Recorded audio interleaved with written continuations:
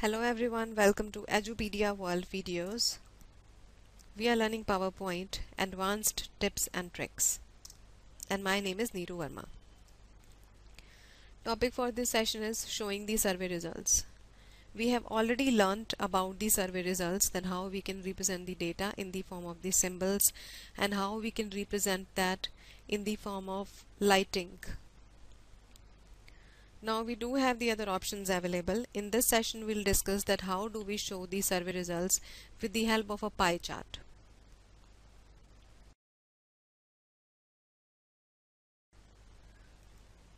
Alright, so these are the two ways by which I have tried to represent the data here. We have two charts first of all the yes and no chart and then we have a chart which says yes, no or maybe there are three possibilities in the survey. So let's try to represent the data first in the form of a pie chart. I'll click on insert here. I'll try to insert a new slide first of all. In the new slide, select the pattern, survey result. Alright, now I want to insert a pie chart. Click on chart here. Click on the pie option, this one. You have a lot of options available. Now let's say we want to select this option okay. We have got the chart here. Now you can modify the figures here. Once you select the chart that this is the kind of chart you want to insert in your uh, presentation in the slide then automatically it's going to open up the excel file that would show you the data.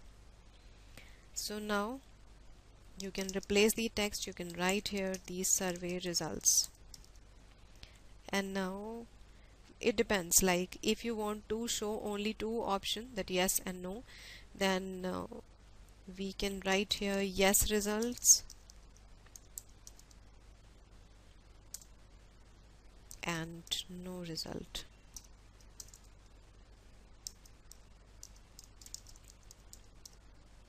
That's it. These two and you can modify the figures like for the yes.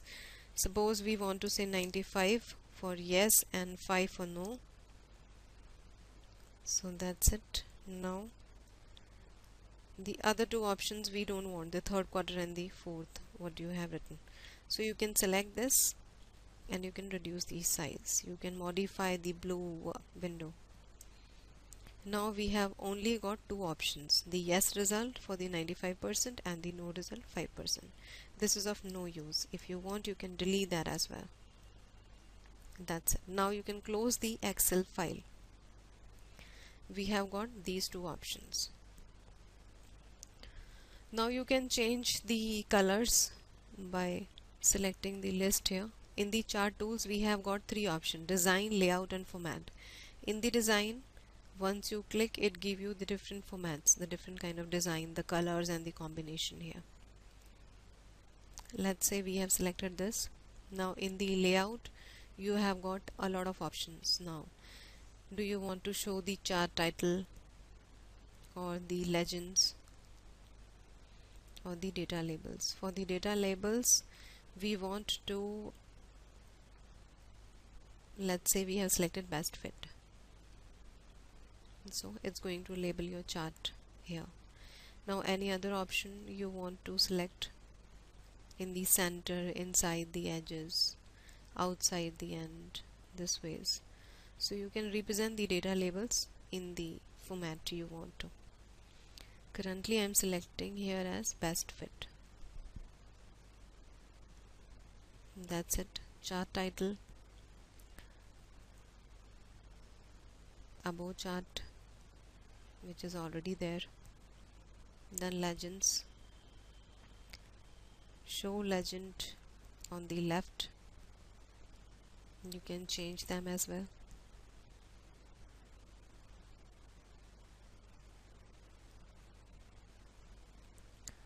You can change the degrees for the rotation also 3d rotation that 15 uh, percent or perspective x and y axis.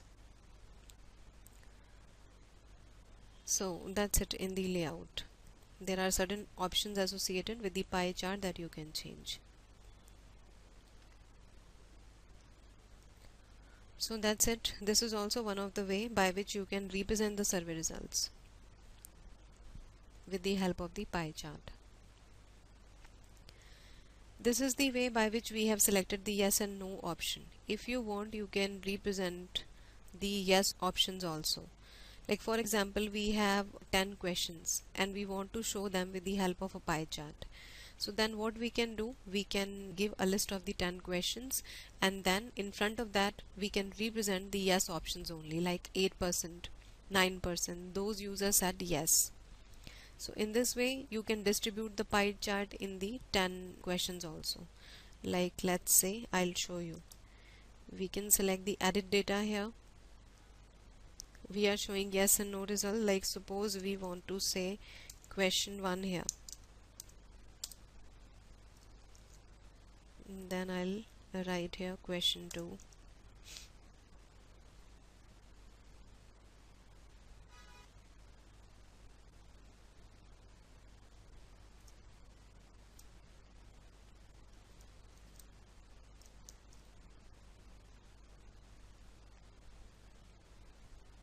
q3 q4 and then q5 we have say we have five questions here for the first question we want to say 8 for the second one 9 these are the yes results.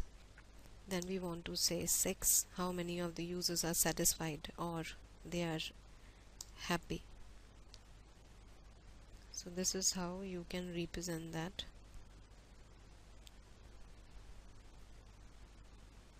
Now close this. These are the survey results and these are the questions. Q1 q2 data labels and the legends. So this is one of the way by which you can represent this with the help of a pie chart.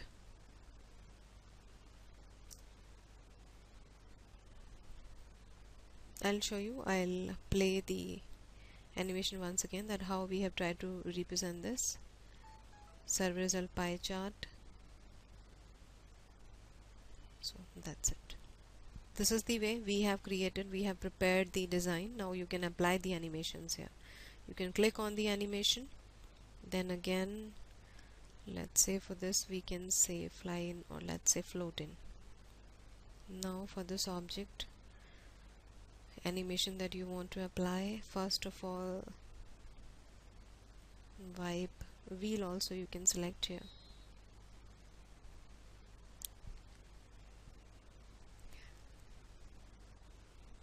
after selecting it. That's it. Let's play that.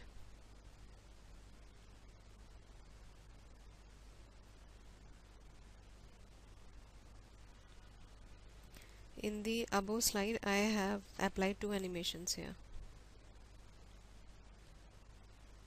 First is that appeared and after that it has I have given the emphasis animation here where it was popping up a pulse was given to it.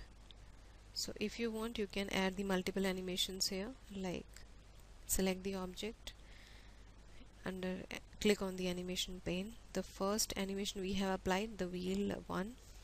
Now click on the add animation. One more uh, animation we want to apply here and we can give it as pulse.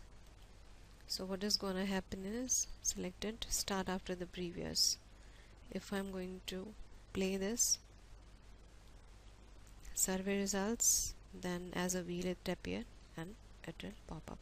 So we do have options of multiple like animations here by which you can add um, different multiple animations together. One is that it appear as a wheel or and after that we can give the emphasis you have already studied about all the animation stuff that what does that mean? The entrance emphasis and exit animation. You can refer back to the videos for the more knowledge about the animation stuff that how we can apply the entrance emphasis and exit animations and how we can apply the multiple animations together. So that was one of the trick by which we have uh, showed the survey result with the form of a pie chart. There are multiple there are many more options like if even if you want to show in the form of the pie chart change the series chart type and there are multiple pie chart options. We have selected this one. You can select a different one also like say this one you want to select. So this is also one of the option by which you can represent it so that was it for this session we have tried to show the survey result with the help of a pie chart in the next session we'll discuss about that how do we show the survey result with the help of a bar chart so stay tuned and learn more about the survey result tips and tricks. Thanks everyone. Thank you for watching Edupedia World videos.